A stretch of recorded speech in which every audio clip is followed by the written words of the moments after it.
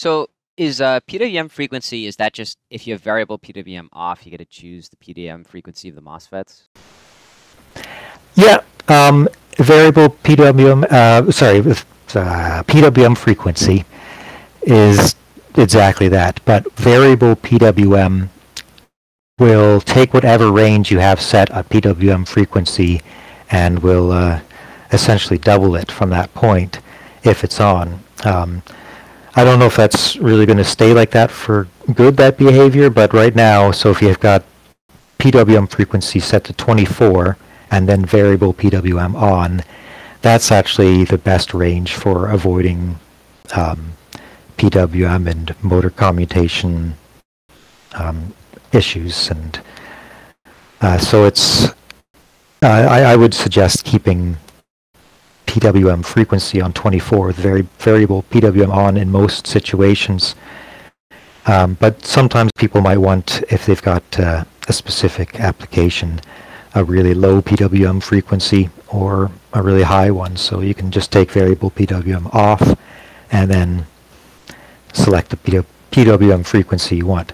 But if you put, say, the slider to, uh, if you took variable checkmark off, brought the slider to 8 and PWM frequency, and then put variable back on, then it would actually start off at 8 um, kilohertz and go up to 16.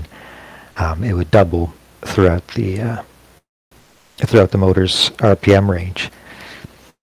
Is there any reason, like, can you give it a, like a a real world example of why you'd want no variable PWM, but and manually set the frequency?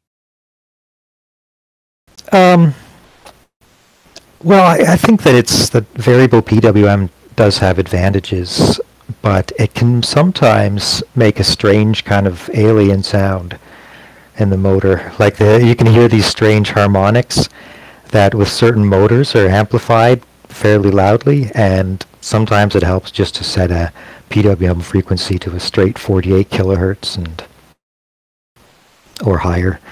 But uh, this slider only goes up to 48 kilohertz. So that's something we'll, we'll change in the future too, because the, the speed controllers can all handle much more. But that's what I was wondering. Uh, yeah, how you can push it up to like 128 or something insane. It STMs.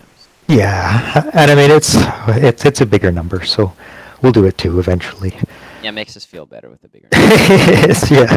I mean, it doesn't really do a whole lot past 48. And if you put on 48 and check variable, it'll actually go from 48 to 96, which is um, that's a pretty pretty decent range. Most of the time, you don't really need to be up above 96 kilohertz for for anything, but it is, you know, we'll, we'll, we'll, we might as well make the range as big as we can because we never know what kind of what kind of uh, hardware people are going to throw at it that can handle really high PWM frequencies in the future. So.